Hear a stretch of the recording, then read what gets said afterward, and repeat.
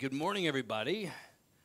Didn't expect this, my next comment, to be on the live stream, but if anyone happens to know how to work the light switch, we could maybe add some of the lights a little bit. I don't want us to all be all too slumbery and tired this morning.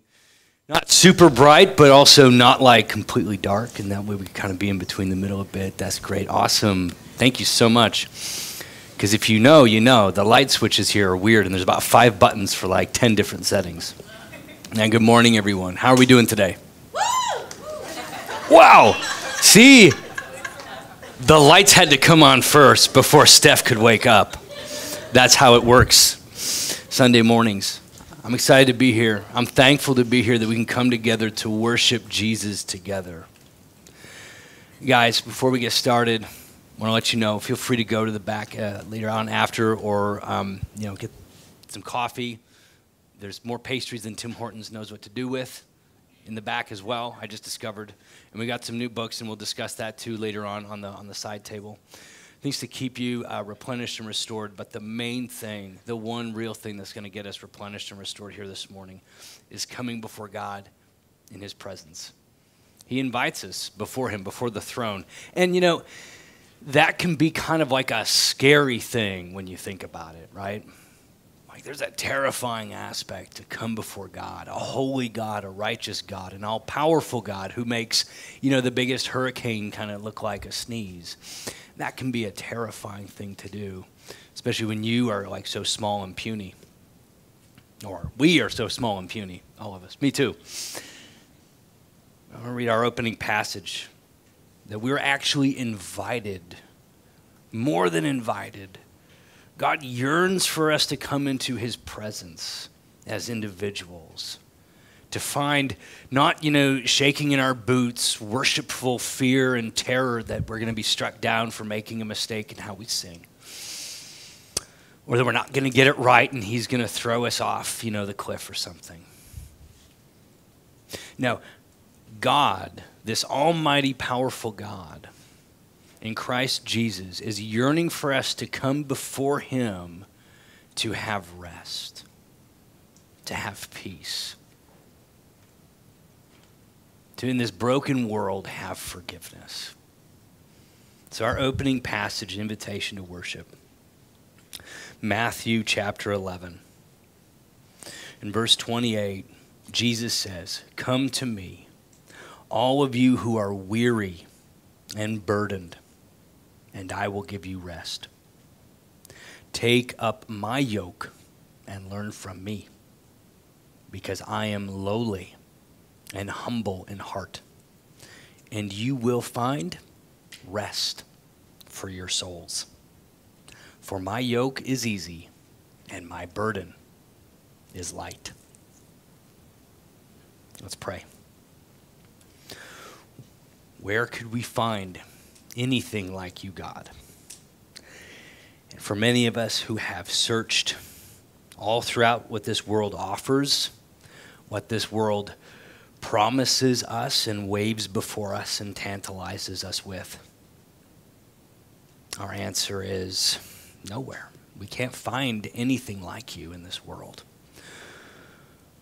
A place where we can truly be at rest, where we can find love and acceptance unconditionally for, for us to be loved and then protected and taken in.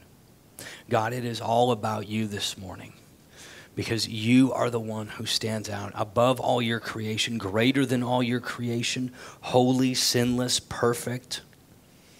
But also, you made us to know you, to glorify you, and to enjoy you. And so it is not surprising that nothing truly can satisfy us like you can, like you do. May we confirm that in our time this morning to worship you, to put everything before you, God, to lay everything down at our feet before you, God, and elevate you in the midst, elevate you in our hearts, elevate you in our eyes. For all the glory and the honor and the power are indeed yours, Jesus. And we have known that and tasted that for what, because of what you have done for us. In Christ's name, amen.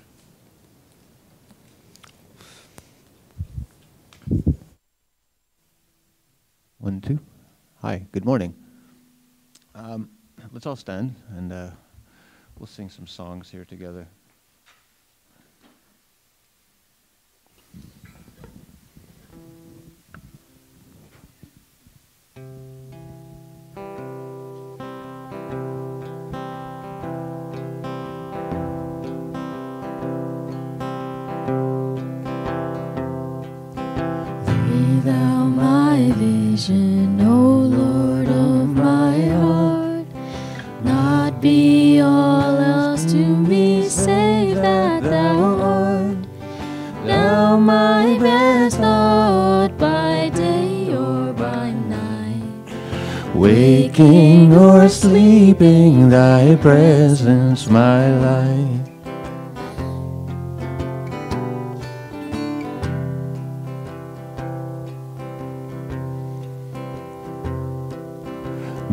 Thou my wisdom and thou my true word. I ever with thee and thou with me, Lord. Thou my great Father, and I thy true Son. Thou in me dwelling, and I with thee one.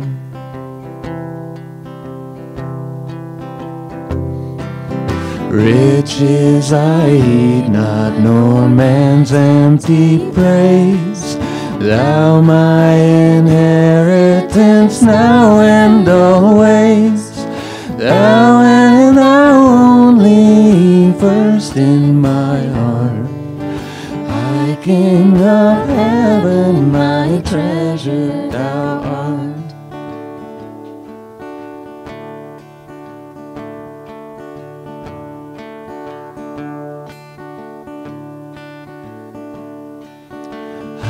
King of heaven, my victory won. May I reach heaven's joy, bright heaven's sun. Out of my own heart, whatever befalls, still be my vision, no ruler my vision, no ruler of all. Amen, Lord. We call upon you to be our vision, Lord, and we study your word, Lord, and we ask that you would open our, our eyes and the eyes of our hearts, Lord, to see clearly in this world that is just plagued, Lord, with deception and lies, that you would point us to the truth, Lord, that in a world that that likes to say that God is love, Lord, we pray that you would teach us what that means, that you would define love, Lord. We cannot simply say love is love. We cannot define a term by itself, Lord. So we just pray that you would guide us and lead us and be our vision, Lord, that we would lean not on our own understanding, but to seek understanding from the one true living God.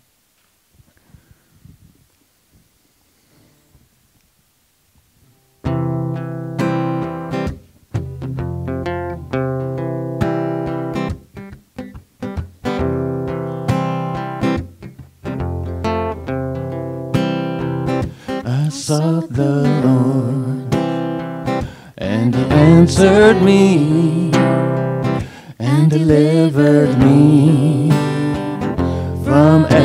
fear. Those who look on Him are radiant, they'll never be ashamed. They'll never be ashamed. This poor man cried, and the Lord heard me and saved me from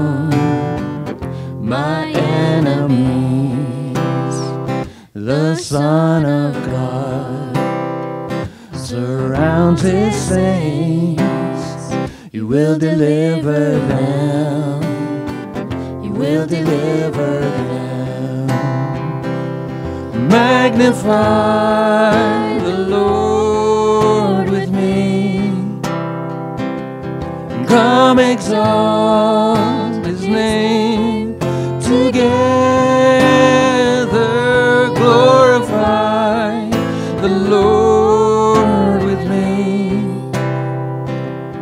Come exalt his name forever.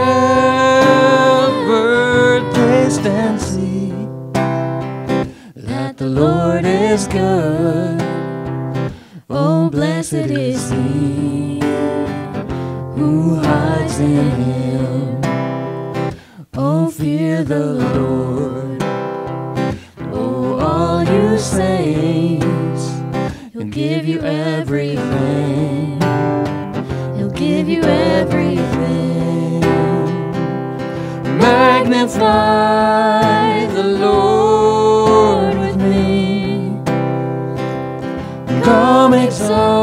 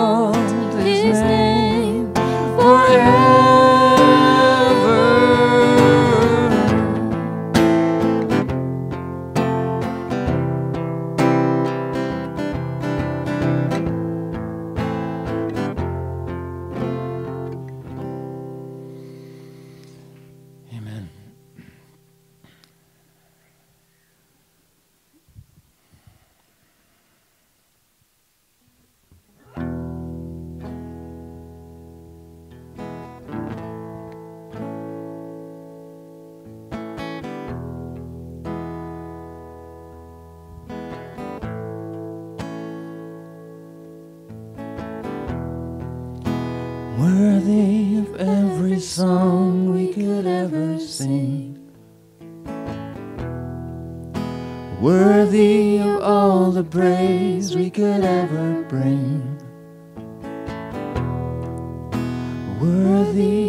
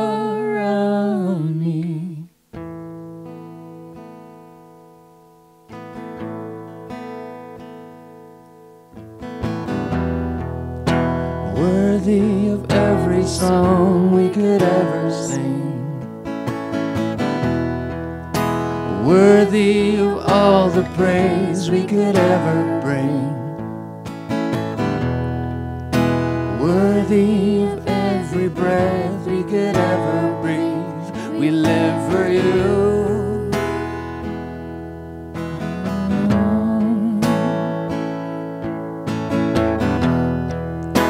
Jesus, the name above every other name. Jesus, the only one who could ever save. Worthy every breath we could ever breathe. We live for you.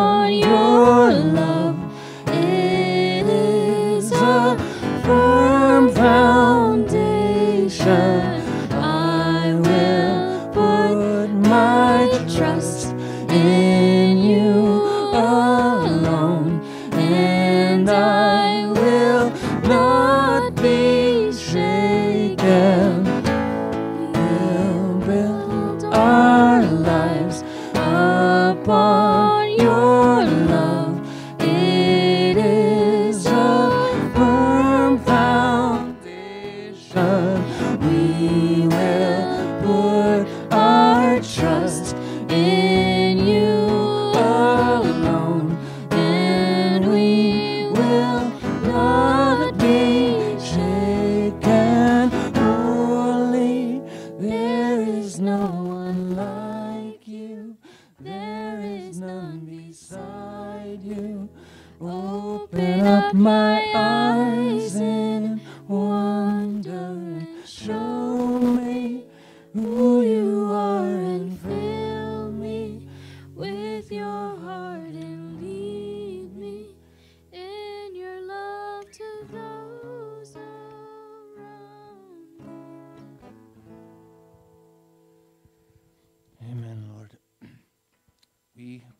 trust and our faith in you, Lord.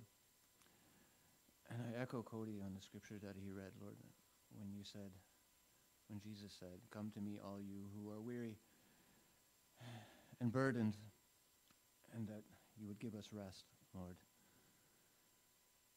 It's not about our performance, Lord, and so long as we think that it's about our performance, that we can somehow earn our way into your good graces and earn our way into heaven, Lord. Performance never stops. And what happens, Lord, when we won't give up the show, when we won't give up the performance, when we rely too heavily on our works, Lord, and someone comes around and makes us look bad, what do we do but condemn those who affect our perception of our own performance, who we perceive to make our good works look bad, Lord.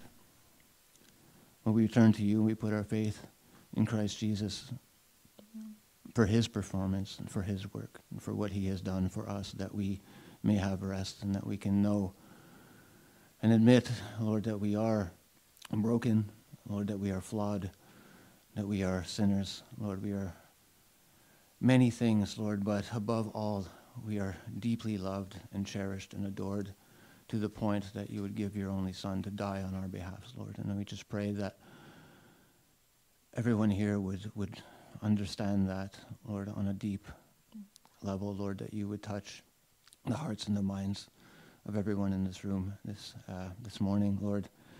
Uh, we just pray that your spirit now would be over Pastor Cody as he reads from your word, Lord, that it would be a blessing to everyone here, and that we would just rest, Lord, in you. In Jesus' name, amen.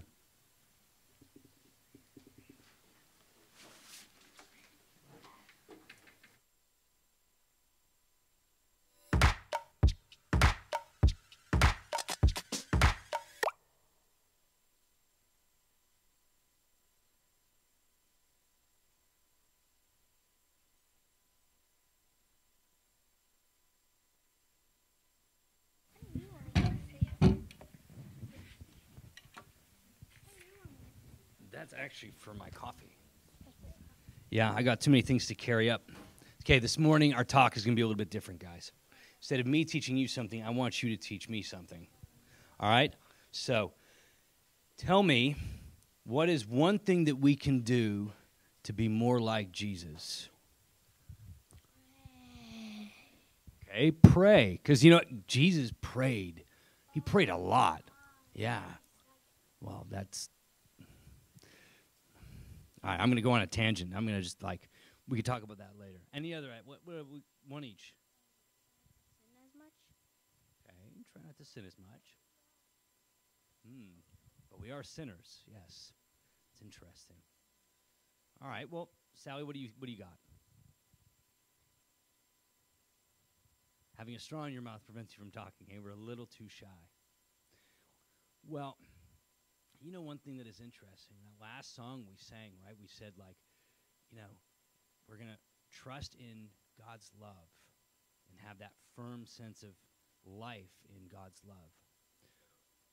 Well, I'm going somewhere with this, guys. One way, I think one really important way that we can be like Jesus, I guess I am teaching you guys something in the end anyway, is that we don't rely on our own power and strength. Jesus showed us what reliance on God is like. And we often get things wrong. We are sinners. We're going to make mistakes. And if we keep trying not to be sinners, we're always going to end up despairing every time we fail, right? And it's true, we are supposed to pray. But you know what? The guys who hated Jesus the most, they also prayed a lot too. Right? It's not so simple as just doing this stuff, but relying on God's love and knowing that He loves us, being assured of that in our hearts is, I think, one of the most powerful ways we can be like Jesus. Let's pray for our kids as they go and learn more about being like Jesus in their lesson. Heavenly Father, God, we thank you so much for them and, and to hear how you are, see how before our own eyes you are growing them in knowledge of you, strengthening them in faith. We pray that you continue to develop, build them up, nourish and nurture their hearts, minds, and souls. Lead them and their teacher this morning in their lesson to bless them abundantly. Protect them and watch over them in Christ's name. Amen. All right, guys, head on out.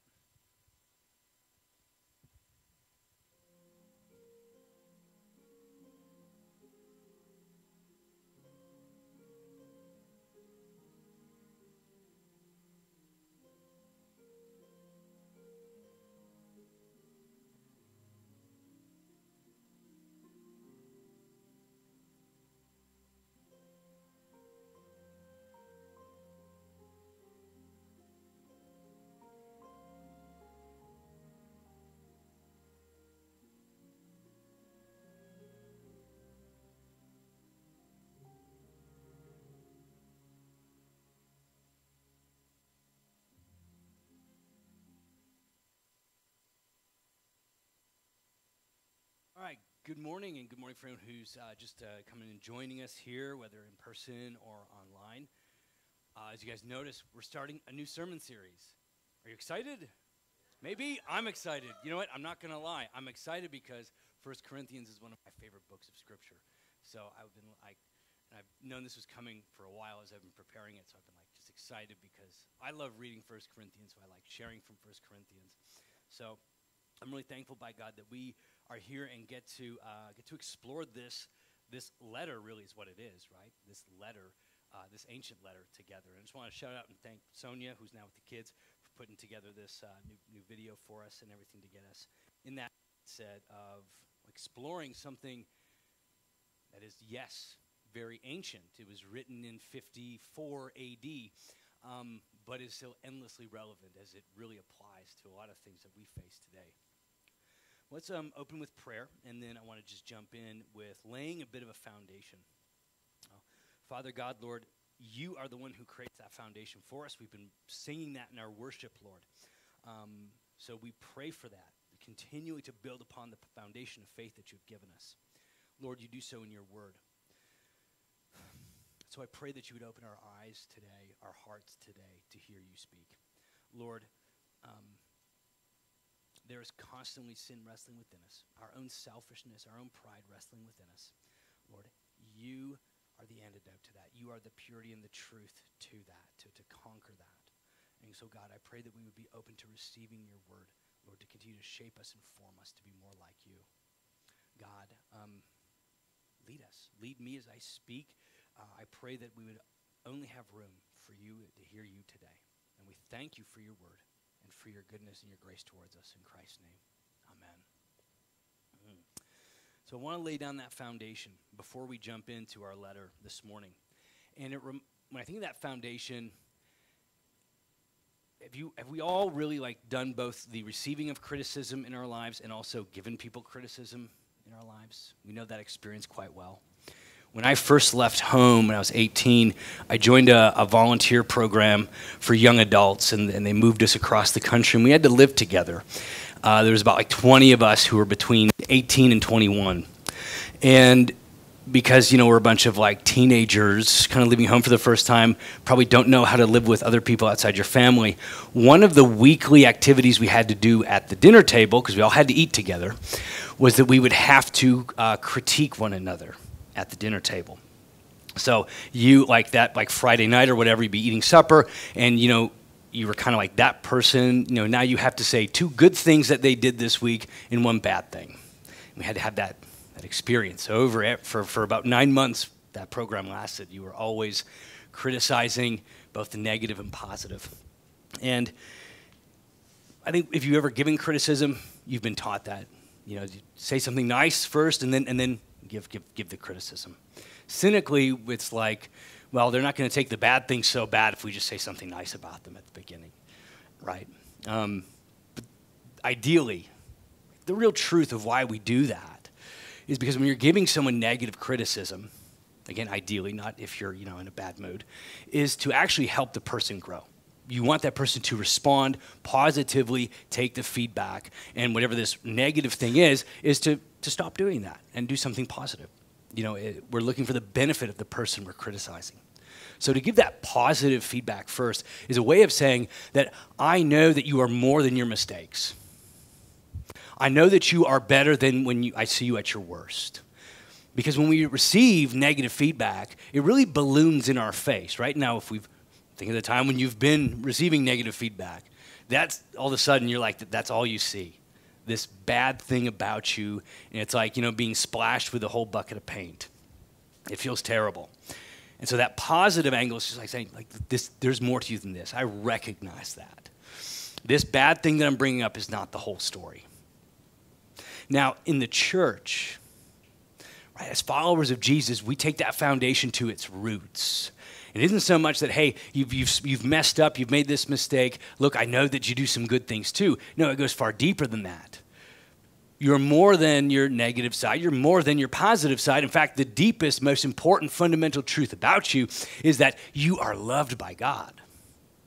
You are a son of God or you are a daughter of God. Jesus suffered on the cross because of how much he loves you. That's the truth about who you are. That's the identity a chosen one of God. That's my foundation. I recognize that about you.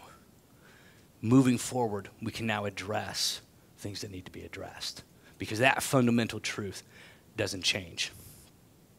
And that brings us to, to the letter, the first letter to the church in Corinth. Because we're going to see this morning, that is exactly what Paul does. That is exactly how he starts this letter, because this is one of the most harshest letters in the New Testament. It's also the second longest of Paul's letters that we have in the Bible. He is going to go through 16 chapters addressing problems, sins, and mistakes that the believers in this church are making. It's a bit heavy at times, it's a bit cringy at times, and it's always challenging. You see, Paul started this church in ancient Corinth. You have a map up, actually. We to throw that up, Ivan. Church in Corinth, right there in, in what's nowadays uh, present Greece. Paul planted the church in Corinth in around uh, 50 AD.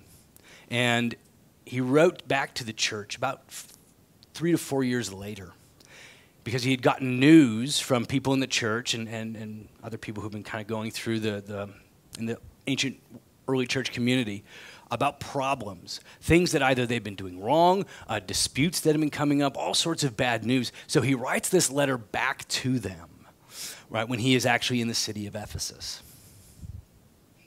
Now, the thing about Corinth, which makes it kind of interesting, is that it's kind of a lot like what we would expect in a modern city today. Corinth was cosmopolitan. You have this young church, these new believers gathering together in a city that was one of the largest in the Roman Empire. It was bustling with commerce. You can see it's kind of in that little spot where you could kind of just cut through with the, the Aegean and the Ionian Sea right there. So there's a lot of trade, a lot of commerce. There's a lot of different people there. It's multi ethnic, multicultural, multi-linguistic. This is a pluralistic city in a really pluralistic society. Religions, they got them all. If you want to worship something, you'll find it in Corinth. All sorts of different customs and, and way of doing things. And in the Roman Empire and in the Greek mindset, these things all would just kind of mingle together in like one giant melting pot. And it was the same thing with morality and ethics different people thinking of different ways to do life and often just kind of going well whatever feels good for you works out as long as you kind of fit in with some random structure that we all agree with. It's eerily modern. It's very much kind of like montreal in fact. And so not surprisingly the believers that are coming out of this society that's another thing about the church in corinth there were certainly some Jews in there, but there were a lot of Gentiles. They were coming out of this kind of culture, this pluralistic environment, and they were trying to figure out how to live holy lives before God, yet also still within this context that they had been raised in. And of course, then their takeoff into faith had a few bumps. And that's what Paul is going to step in to address. Well, let's turn there now. We'll open with 1 Corinthians chapter 1.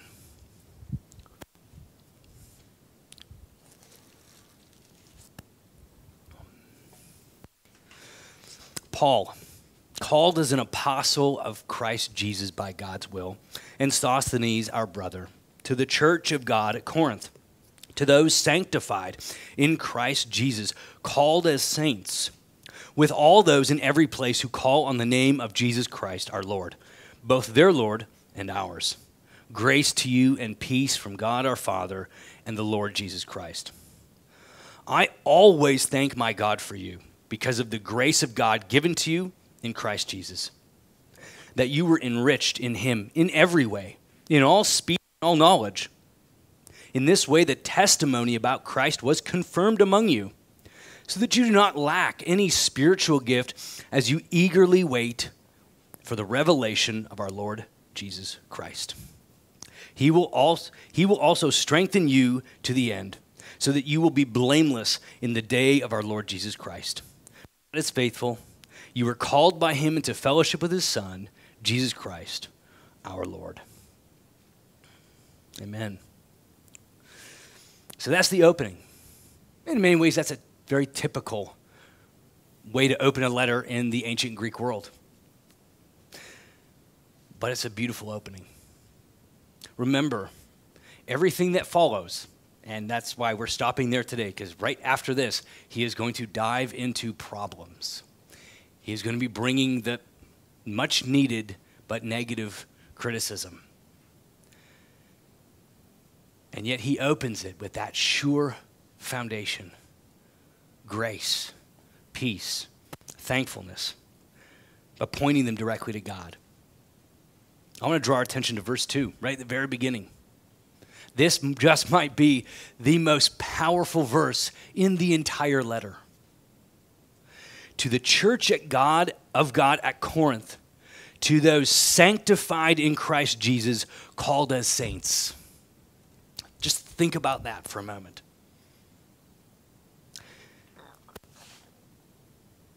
To those sanctified in Christ Jesus, called as saints.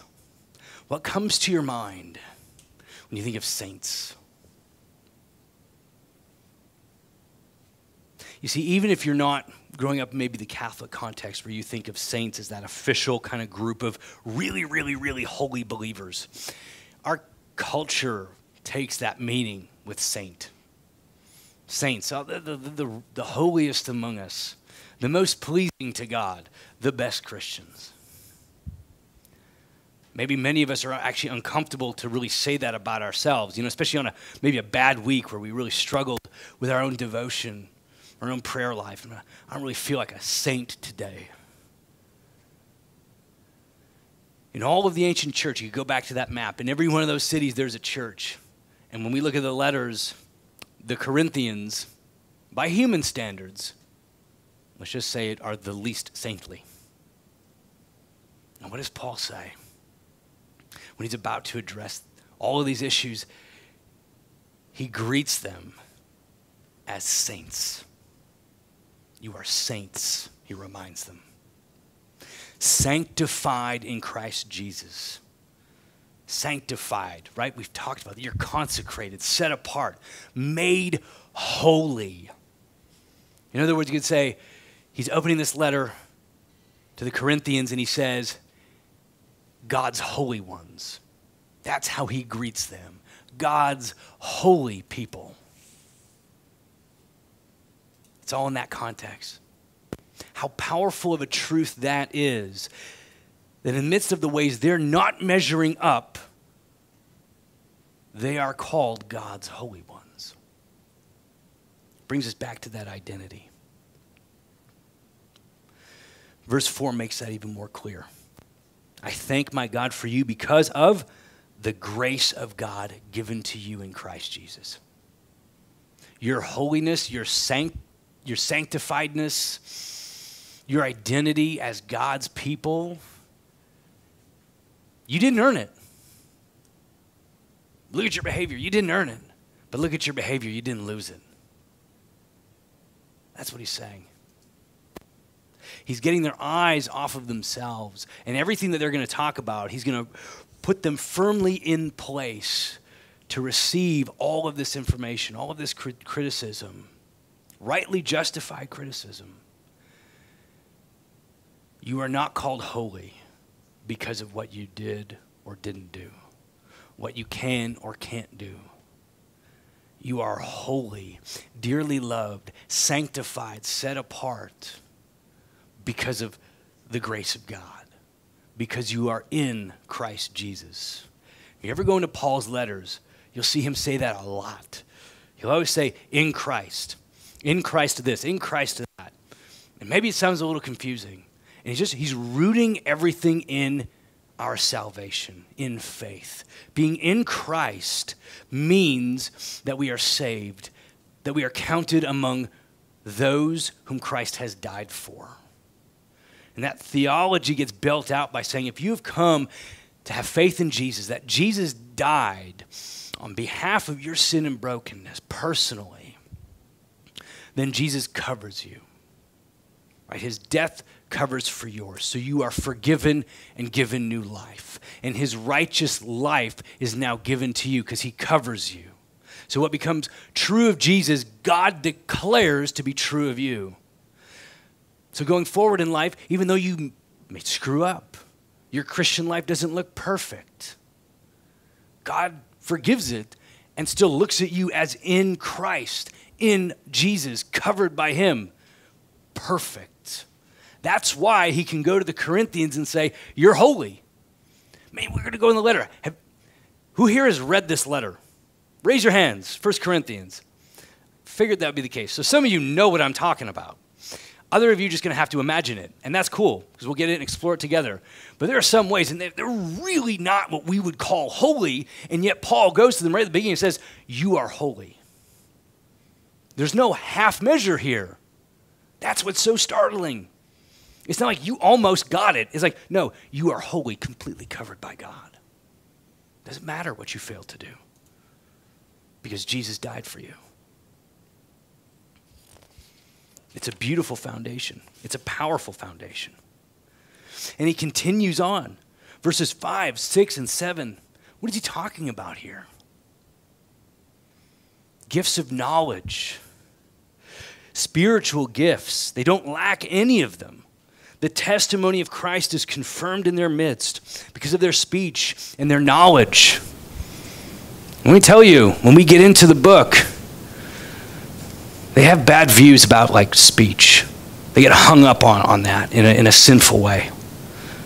They have sinful understandings about knowledge, and they turn these good things into ways to judge and hurt others. They're all over the place when it comes to spiritual gifts. Paul isn't commending them for what they're doing. He's not commending their own activity, their own actions. These are actually areas of sin. But they're also areas where God is at work, where God is alive. The testimony of Christ is confirmed in their midst, not because of them, but because of the presence of Jesus himself. That's what Paul is saying. Paul says, I can see that God is working in your midst. I can see that you have the gifts.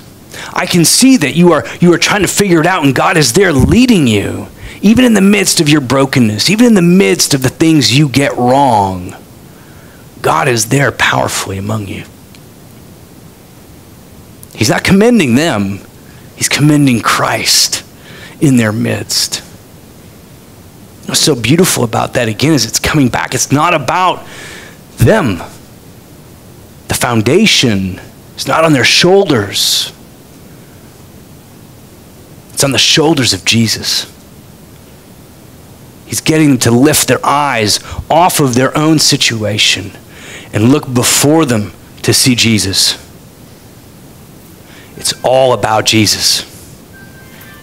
And if it's all about Jesus, right? If it's all about Jesus at the very beginning, saving them from their sin and brokenness through his death on the cross. If that's how it started, and it's confirmed in their midst in their life as they wrestle with, with trying to be a church, if it's continued to be Jesus and all about Jesus, it's going to end that way too. I want to reread verse 8 and 9. He will also strengthen you to the end, so that you will be blameless in the day of our Lord Jesus Christ. God is faithful. You were called by him into fellowship with his Son, Jesus Christ our Lord.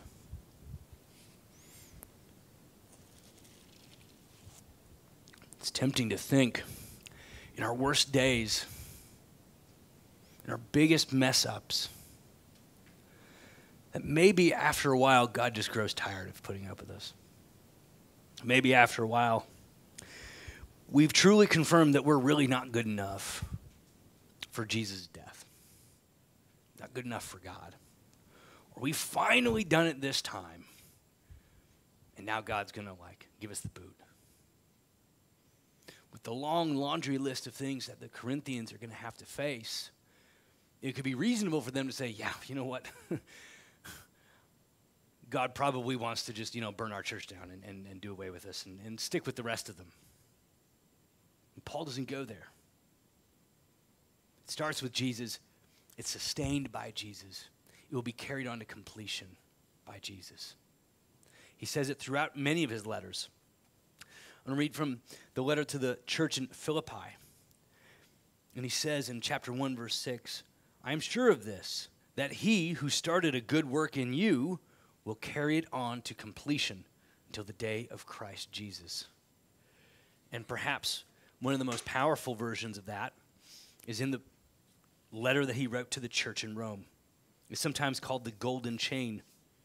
He writes, For those God foreknew, he also predestined to be conformed to the image of his Son, so that he would be the firstborn among many brothers and sisters. And those he predestined, he also called. And those he called, he also justified. And those he justified, he also glorified. It's like links to a chain, these different steps. And simply all it means is that at the very beginning, he chooses you and saves you. And at the very end, he confirms that in eternity. He doesn't change his mind. Because as the Bible tells us, as God tells us through his word, he's not like people, he's not like a human being who changes his mind. He is perfect and he is changeless. So if he has worked to save you, he will never let you go. Paul is assuring the Corinthians of that foundation, of that identity as beloved and chosen in Christ. You are sanctified and holy in Christ, and that identity, no matter what, will not change. God is working through you, and He will bring you to the end. Stop looking at your own self. We're going to be visiting all of those issues, but don't look at yourself as so much to forget that God is the one who is going to deliver you. Get your eyes off yourself and see yourself as small and see that God is the one who is large.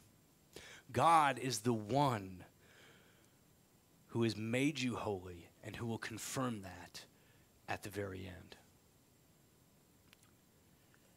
It's a beautiful foundation. And it is just so hard for many followers of Jesus to hold on to. Now, I want to come back to the basic gospel for a minute. That's where it starts. If you're here today just visiting maybe first time, the foundation of what we believe as followers of Jesus, we are all in need of God's grace and forgiveness because we've all messed up. We've all made mistakes, screwed up, hurt other people. It's called sin. We all are guilty of it. And so Jesus dies as a punishment for that. So that then when we believe that his death was for us, that's faith, that's trust in God. He forgives us. That's his part of the promise. He forgives us. And after that forgiveness, we are brought into his family. It says he adopts us as his own. He loves us.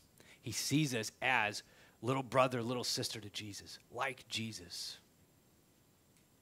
That's the foundation. You can't change that. You can't earn that. That's what grace is all about. It's accepting what Jesus has done for us and admitting that we need that to begin with. There is no working our way in or earning a sense of favor with God. And yet, as we go forward then, following Jesus, living the Christian life, we forget it. We forget it so often. I love this quote by Dane Ortlund in Gentle and Lowly. He says, There are two ways to live the Christian life. I hope you'll see that one is the proper way, one is a broken way. You can live it either for the heart of Christ or from the heart of Christ. You can live for the smile of God or from it, for a new identity as a son or daughter of God or from it, for your union with Christ or from it.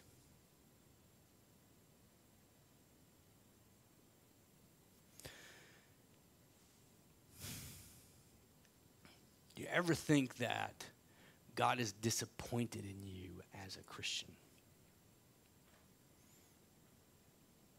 Now, I want to use gentle words like that. Do you ever think He's disappointed in you? Maybe displeased or unhappy? Because we're all going to say we know that we're forgiven, so He's not wrathful towards us or something. But do you ever think He's disappointed in you? Do you know that he, Jesus chose to die at you, die for you. Understanding you and seeing you in your worst day possible, in the worst light imaginable. And he is more sensitive to sin. He is more angered, more furious over sin and brokenness and evil than you are. So, of all things that exist, God hates your sin more than you do. He sees you that way and then has so much love for you that he suffers and dies for you. Do you think that when you went and screwed up yesterday, that all of a sudden he's mad? His unchanging love? That's what the quote is getting at. That's what Dane Ortlund is getting at. That's what Paul is getting at here. When we think we've displeased someone, we want to earn that back a little bit.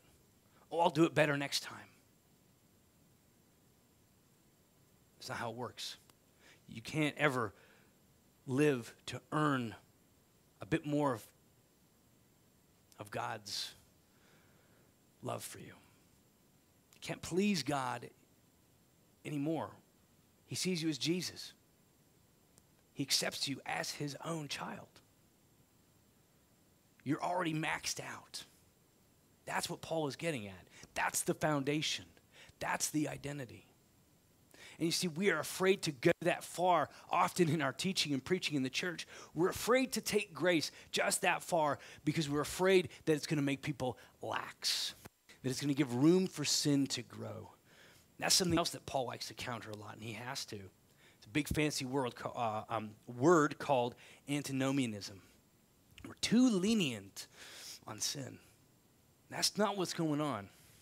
Because the danger that, the, that Paul is aware of for the Corinthians as he comes down on them for their sin is that he will drive them away from the gospel. He has to remind them that it's all about grace. He has to remind them that they cannot earn anything from God that God loves them, is pleased by them, sees them as holy in their worst moments and in their best moments. That their relationship with God does not change. Because only out of that foundation, only out of that truth, can they have the freedom, can they have the freedom to truly, actually obey God. And it's just like that with us we need to have that full freedom of, of freedom. Oh, maybe that's my fault. That full freedom to know that God's love for us doesn't change because our obedience isn't for the heart of Christ, it's from the heart of Christ. It's a response of being loved so much. It's like, that's absolutely what I want to do. Whatever you want me to do, God, because you're so amazing and you have set me free any kind of obedience that comes from, oh God, I got to make you happy because I just screwed up, is actually the opposite of obedience. That's called legalism. God, I got to make you happy because, because I'm not living the right way. God, I got to pray more. God, I got to stop doing this sin in my life, and then you'll be more happy with me.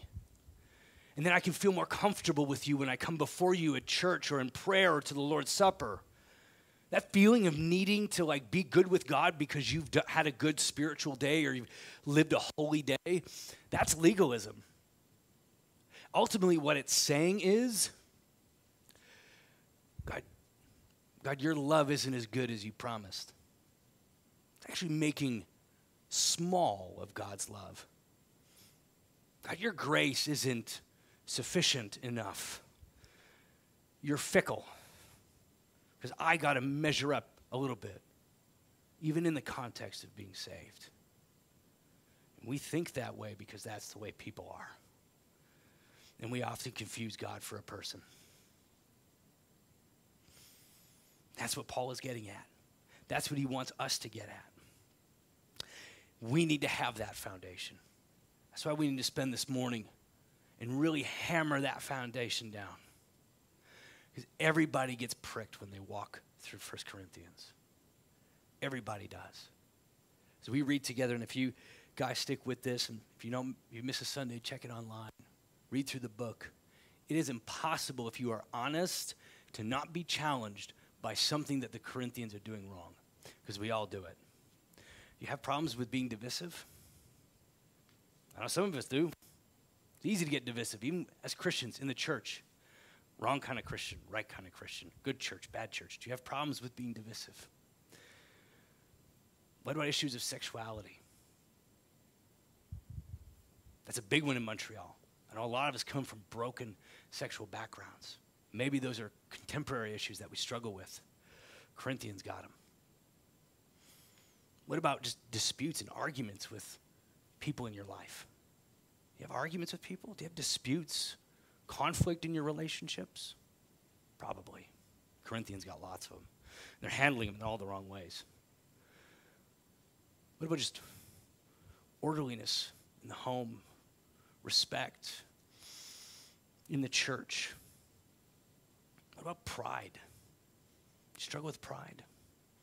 Pride is a major issue for the Corinthians. They're really judging other people and trying to one up each other all the time. Or maybe just struggle and are confused with areas of, of knowledge and doctrine of the church. Corinthians struggle there too. There's so many things that we're going to explore and discover. And we're going to be challenged. It's a good thing. It's a good letter for that to help help us to respond rightly to Christ, to what he's done for us. But we don't want to come to this letter and then get down on ourselves. Take that magnifying glass, focus in on you and me, right? And then it's all about us, and that we got to measure up, and all we suck, we're not good enough, and throw a pity party and throw that on God's lap. That's not what we're supposed to do. That foundation we're set free. Of course, we make mistakes. We're human. God knows it. That's why Jesus died. We're set free. God's love doesn't change. Didn't change for them, doesn't change for us. His love for us is steady. So we can face every mistake, we can face every sin. And we know that He forgives us. We know that his love is the same as it was yesterday and the day before and the day we first came to faith. And it won't change going forward to the day that he comes in judgment and he says, Your judgment has been taken away. You are free to come in and enter into my rest for eternity. It's a guarantee. So now our changes, our, our trying to get things right, what we call our obedience, isn't to make God a little bit more happy. It's not to feel like we earned a little bit more, we can hold our head up high as followers of Jesus. It's because we're so overwhelmed by being loved so overwhelmingly. It's a true form of worship because it's born out of the response of being loved and just simply receiving from God and acknowledging that it's actually all about Him.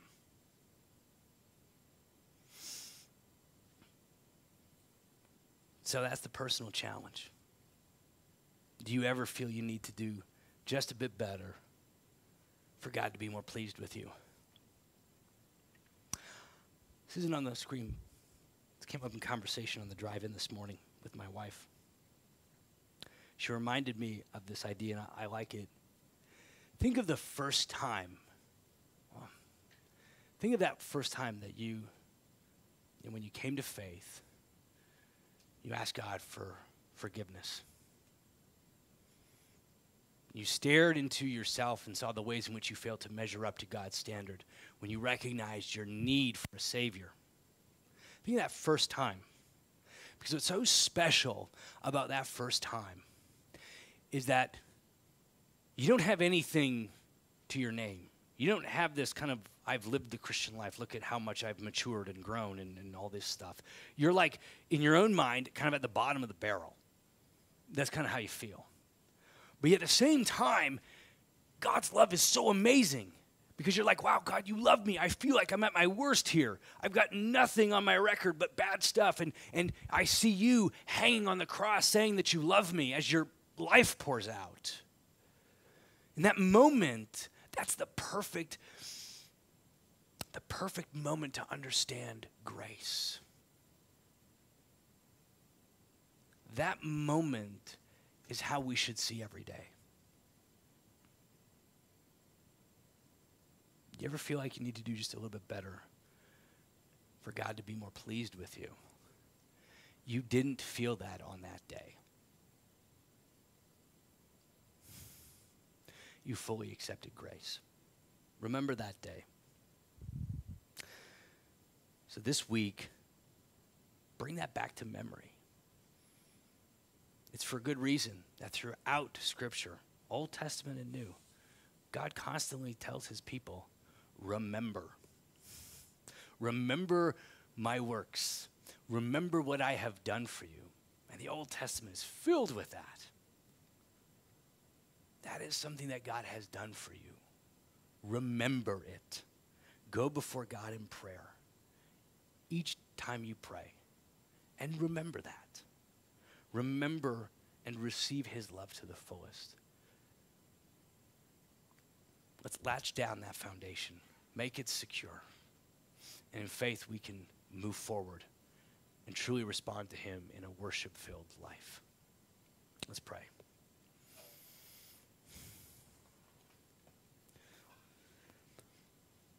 Father, Lord, I thank you and praise you that you have in your word in Holy Scripture have given us so many stories of people getting it wrong.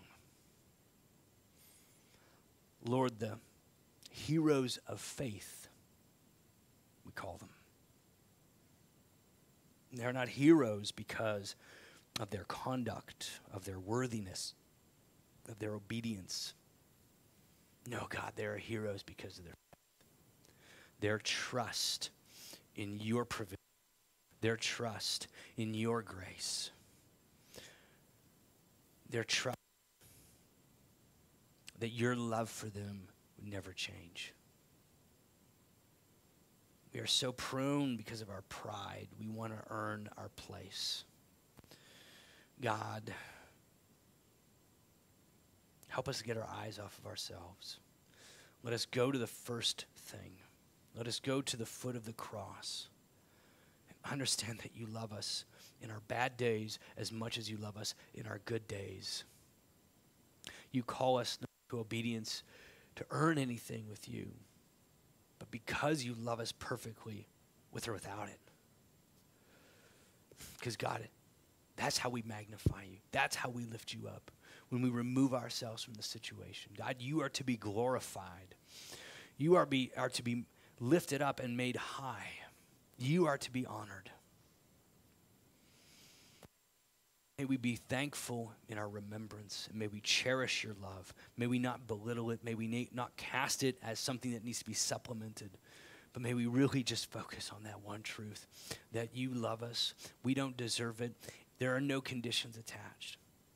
Your grace is sufficient. Your grace is enough. And may we live in the freedom to make your name known and to bless your name. Amen.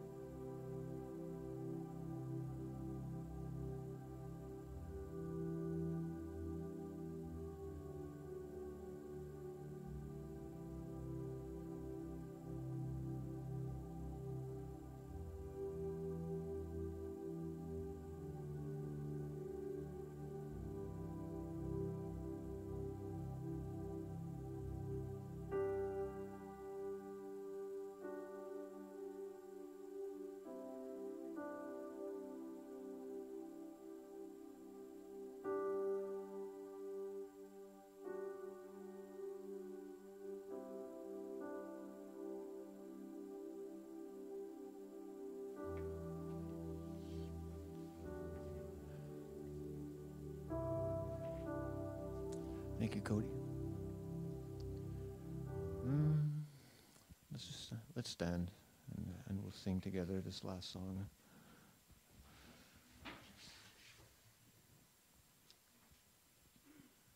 this song is is is uh, written around a scripture from Jeremiah, I believe. I don't remember precisely what it is, but the passage goes, "I know the plans that you have, that I have for you, for a hope and a future." And, and oftentimes, I've heard some people say that it's taken out of context and uh, what was what was God really saying. But I think also just the simple fact that that verse gives so much hope and so much uh, encouragement to, to believers and non-believers alike at, at times of trial that we should not uh, worry ourselves about holding so deeply an important passage because God's word is intended to strengthen us to move forward in faith. So the song is called The Plans. We've sung it once before, and we're going to sing it now a second time.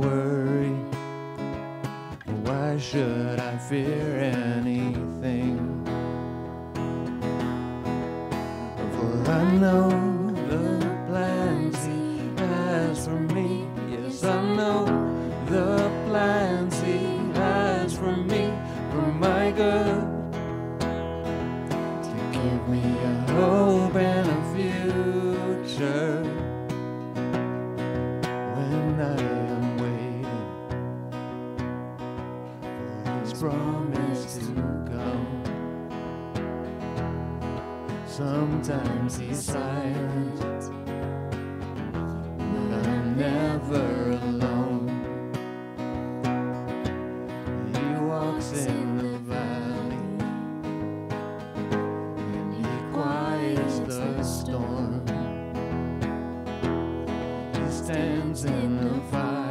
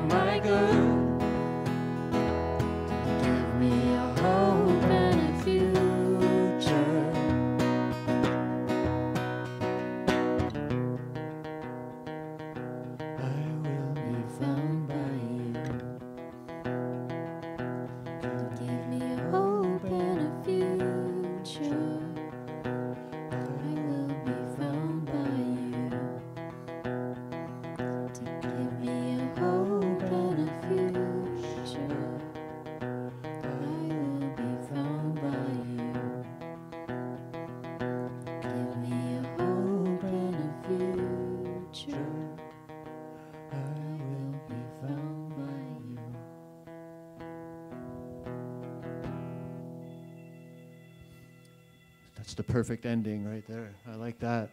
Better than anything I could have thought of. All right, we can all uh, be seated. Thanks.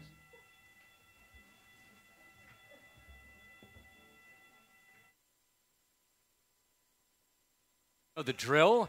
Um, so I have no clue, but, you know, I think for just maybe we want to just get up and maybe just step outside or just see what's going on. Because if there is a fire, I don't know, there's a movie crew out there, maybe they screwed something up and let's just not, let's just like scope it out for a minute. We'll put a pause, make sure that we aren't actually in a burning building.